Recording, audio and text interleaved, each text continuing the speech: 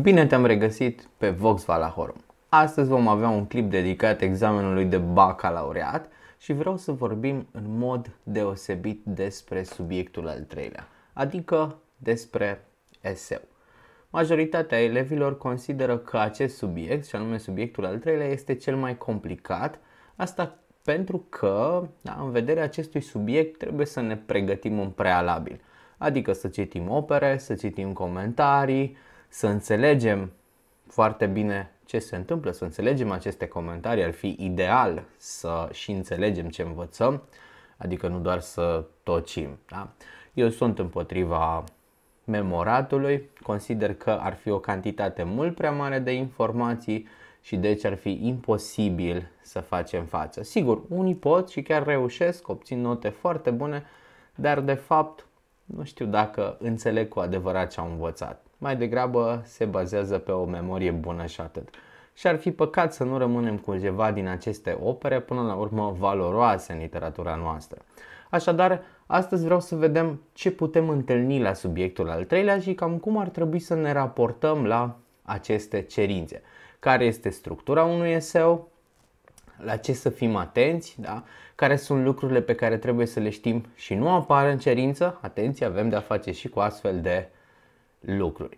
Așadar, o să distingem profilul uman de cel real pentru că sunt micuțe diferențe și aici. Dar înainte de a continua, îți amintesc că voxvalahorum.ro îți pune la dispoziție un pachet complet de pregătire pentru bacalaureat. El se numește BAC Plus, se bazează sigur pe un username și o parolă care îți oferă acces la o platformă unde ai toate materialele de care ai nevoie. Pentru subiectul 1 și al doilea, ai toată teoria, pași pentru parcurgerea și rezolvarea exercițiilor, modele de rezolvare și sugestii, desigur, modele de, teste, de texte argumentative, spre exemplu, materiale video explicative. Iar pentru subiectul al treilea am luat fiecare operă în parte, avem câte un material video explicativ, un suport de curs cu informația schematizată și eseuri pentru fiecare cerință atât pentru particularități de construcție a operei, cât și pentru particularități de construcție a personajului, dar și pentru relația dintre două personaje. Eseuri diferite, deci, pentru fiecare dintre, această, dintre aceste cerințe. Așadar, hai să discutăm puțin despre ce putem întâlni la subiectul al treilea. Pentru aceasta am ales câteva modele de antrenament pe care le am în față și vreau să parcurgem împreună cerințele să vedem efectiv ce avem de făcut și ce avem de pregătit. Așadar, voi începe cu profilul real. Da? Ne întâlnim la profilul real cu mai multe posibilități, avem mai multe cerințe posibile, două de fapt, da? per operă. Asta înseamnă ce? O cerință universală, particularități de construcție a textului, indiferent despre tipul de text, că este narrativ, că este Uh, dramatic sau liric, particularitățile de construcție a operei poate fi o cerință posibilă. Da? Și uh, sigur am aici un test de antrenament în care apare această cerință sub forma următoare. Redactează un eseu de minimum 400 de cuvinte în care să prezinți particularități ale unei nuvele studiate. Da? Această cerință îmi permite să aleg, de exemplu, Moara cu noroc sau În vreme de război, dacă ați studiat-o, sau de ce nu Alexandru Lăpușneanul de Costache Negruții. Poate mai puțin dintre voi uh, ați citit uh, și ați studiat această operă la clasă, dar putem alege. Sigur că majoritatea vor alege Moara cu noroc. Bineînțeles, vom avea o introducere, o contextualizare. Toate eseurile trebuie să aibă această parte. Și după ce avem această introducere în care menționăm da, și tema operei, bineînțeles, pe urmă vine prima liniuță, evidențierea două trăsături care fac posibil încadrarea novelei într-o perioadă, într-un curent literar sau într-o orientare tematică. Dacă vorbim despre Mora cu noroc, vom face o încadrare în realism. Cu alte cuvinte, două aspecte, două argumente care fac posibil încadrarea operei Moara cu noroc în realism. De ce e Moara cu noroc o operă realistă? Și putem să luăm, de exemplu, verosimilitatea evenimentelor, prezența reperelor spațiale și temporale, da? Construcția realistă a personajelor, bineînțeles, două trăsături trebuie aici neapărat. După care, comentarea a două episoade secvențe relevante aici pentru tema nuvelei studiate. Vom lua două episoade semnificative din, din care să reiasă tema. În cazul nostru, tema este setea aceasta de înavuțire, da? Și putem să regăsim scene relevante ca să putem susține acest punct de vedere. Următoarea liniuță analiza două elemente de structură, compoziție și sau limbaj semnificative pentru nuvelă. Și avem aici exemple în paranteză, acțiune, conflict, relații temporale și spațiale, incipit, final, tehnici narrative, instanțe ale comunicării narrative, perspectivă narrativă, registre stilistice, limbaj. Bineînțeles, trebuie să alegem minimum două. Acum, dacă scrieți 3, să fie primit, dar nu e obligatoriu. Minimum două trebuie să fie. După care vom avea și o concluzie, da? în care vom relua în mare ideile pe care le-am discutat. Deci obligatoriu introducerea și încheierea trebuie să existe chiar dacă în cerință nu este menționat acest aspect. Cu această cerință se poate întâlni orice elev din clasa a 12 dar cel mai adesea se cere la real, la uman de regulă nu prea se cere așa ceva. Bun, sigur, eventual dacă textul suport este o poezie, da, atunci șansele sunt mai mari. În schimb, la poezie diferă puțin cerința și e normal să se întâmple asta, uh, pentru că, sigur, se schimbă câteva aspecte, da? trebuie abordată un pic diferită chestiunea.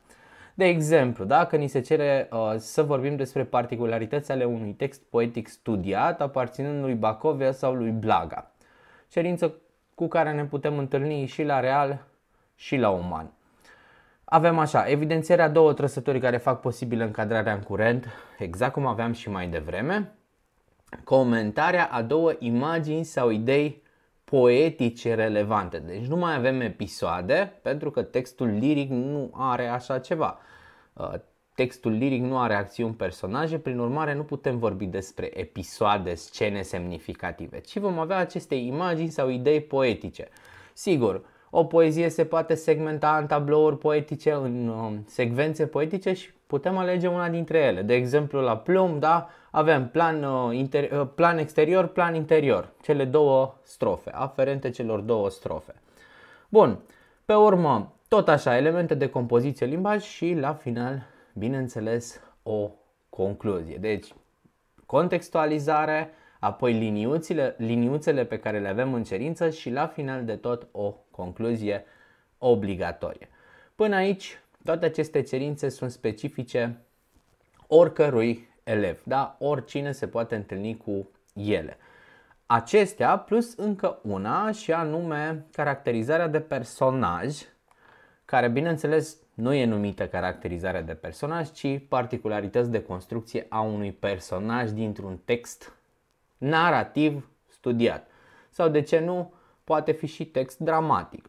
Am luat această cerință, da, dintr-un text narrativ studiat, aparținând lui Sadoveanu sau lui Călinescu. Trebuie să alegem un personaj și să realizăm practic o caracterizare de personaj. Tot așa, vom avea o introducere, o contextualizare a operei, dar punem accentul pe personaj de data aceasta, pentru că asta urmează să dezvoltăm. Da? Vorbim puțin despre personajul ales, de exemplu despre Vitoria Lipan sau, de ce nu, despre Felix Sima sau despre, da, despre Otilia dacă mergem pe romanul lui George Călinescu. Apoi, aici avem alte cerințe. Prezentarea statutului social, psihologic, moral al personajului ales. Două dintre ele, da? de exemplu social și moral, trebuie să abordăm din punct de vedere social. Cine e personajul? Da, de exemplu, dacă vorbim despre Felix Sima, da, student la medicină.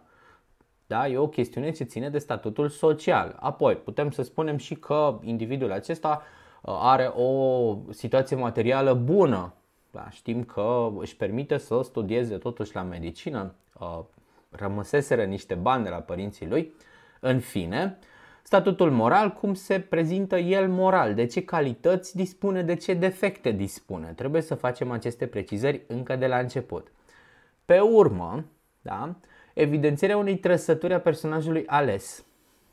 Atenție, precizăm care e această trăsătură predominantă și apoi justificăm prin două episoade. Deci două episoade din care să reiasă această trăsătură. De data aceasta accentul nu-l mai punem pe temă, ci pe, tră- ci pe trăsătura respectivă. Și apoi, bineînțeles, două elemente de structură, compoziție, limbaj, semnificative pentru construcția personajului ales. Da? Din nou, nu punem accentul pe temă, ci pe construcția personajului. La final, evident, trebuie să avem o concluzie în care să reluăm aceste aspecte deja discutate. Și această cerință poate fi întâlnită indiferent de profilul la care te afli. Da? Și la real și la uman. Și acum, bineînțeles, discutăm despre încă o cerință și anume relația dintre două personaje. O cerință care, tehnic vorbind, poate pica oricui, dar practic și statistic s-a dat numai la uman. Așadar, cu cei de la uman vorbesc de data aceasta. Da? Avem așa, cerință, redactează un eseu de minimum 400 de cuvinte în care să prezinți relația dintre două personaje într-un bazm cult studiat. Sigur, povestea lui Harapal, cred că toată lumea studiază acest bazm. De data aceasta lucrurile se schimbă puțin. Vom avea evident introducere și contextualizare ca de fiecare dată. Nu trebuie să facem o încadrare în curent, de exemplu. Putem să precizăm opera aparține respectivului curent, succint, da? E un plus până la urmă adus lucrării noastre, dar nu ne concentrăm pe acest aspect. Nu ne concentrăm nici pe uh, explicarea temei. Nu, ne concentrăm pe altceva de data aceasta. În primul și în primul rând, prezentarea statutului social, moral, psihologic pentru fiecare dintre cele două personaje. De exemplu, da? Harapalb, da, sau fiul de Crai, spunem ceva despre el, da, statut social, vine din clasa nobilă, da, și spânul, bineînțeles, care este ce spânul? Sigur, este un impostor.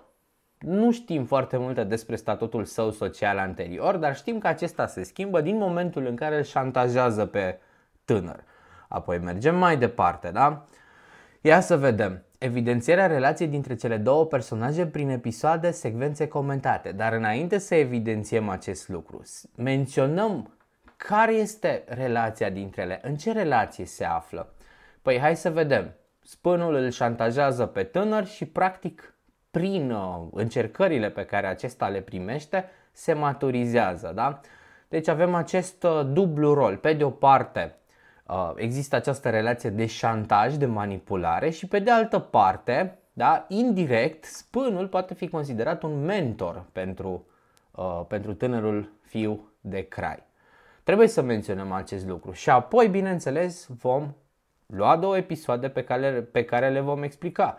De exemplu, episoade relevante pentru relația dintre Harapalb și Spân ar putea fi considerate întâlnirea aceea la fântână, da? când practic tânărul este obligat să jure pe paloșul său credință acestui impostor și putem să luăm de exemplu scena finală, da? în care tânărul se îndrăgostește de fica împăratului Roș, îi spune adevărul, aceasta îl dă în vileag, spânul se enervează, îi taie capul, în sfârșit calul este cel care îl ucide pe spân și tânărul este readus la viață cu apă moartă, apă vie și smicele de măr dulce.